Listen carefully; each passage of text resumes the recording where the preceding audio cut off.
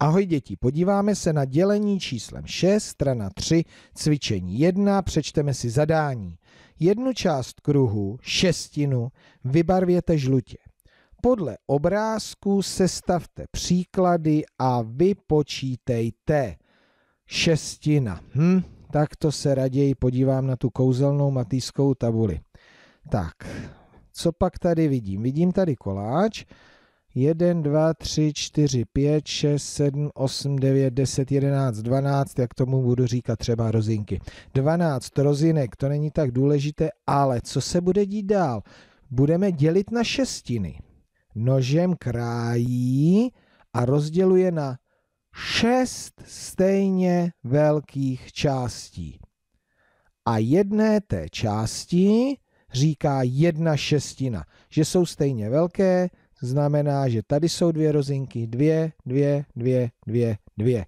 Takže šestiny a my je budeme tady vybarvovat. Vezmu si žlutou a vybarvím vždycky jednu šestinu z toho koláče, kteroukoliv. Výborně. Tak a teďka máme podle obrázku sestavit příklady. Takže tady je koláč, tam jsou žetony, mají hodnotu na každém koláči jinou, takže tady sečtu celý koláč 1, 2, 3, 4, 5, 6 a dělím na šestiny, čili dělím na šest částí děleno šesti, no a na každé té části je jedna. Šest děleno šesti rovná se jedna.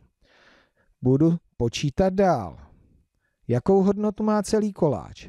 2, 4, 6, 8, 10, 12. 12, postupně jsem to sečetl, šestiny dělím šesti, 12 děleno 6 rovná se 2. Ještě jeden, sečtu koláč, 3, 6, 9, 12, 15, 18.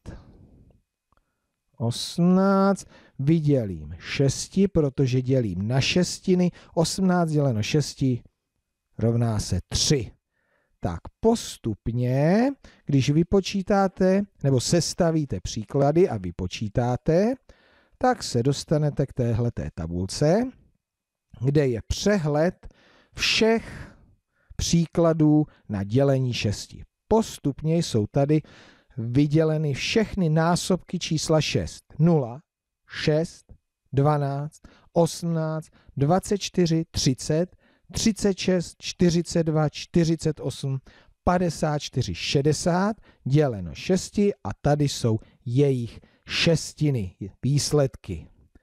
Tak a tohle si my procvičíme tady na tom Pexasu. Tak, jak budeme postupovat? Začneme od těch lehčích příkladů. 6 děleno 6 rovná se 1. Ano. 12 děleno 6 rovná se dvě. Nebo budu počítat tak, jak jsou tady ty příklady. 36 děleno 6. Nevíte? Tak, umíte řadu. 6, 12, 18, 24, 30, 36. Kolik prstů? Šestkrát jste to přičetli. 6. 54 děleno 6. Kdo ví? Chvíli počkám. Ano, 9. A někdo si to může ještě více stížití. 10. Který příklad rovná se 10? 60 děleno 6. Tak, 18 děleno 6 rovná se 3. 42 děleno 6 rovná se 7. 48 děleno 6 rovná se 8. 24 děleno 6 rovná se 4 a 5 to se rovná 30 děleno 6. Výborně, zvládli jsme to, no a vy sestavujte, vymalovávejte, no a naučte se příklady na dělení 6.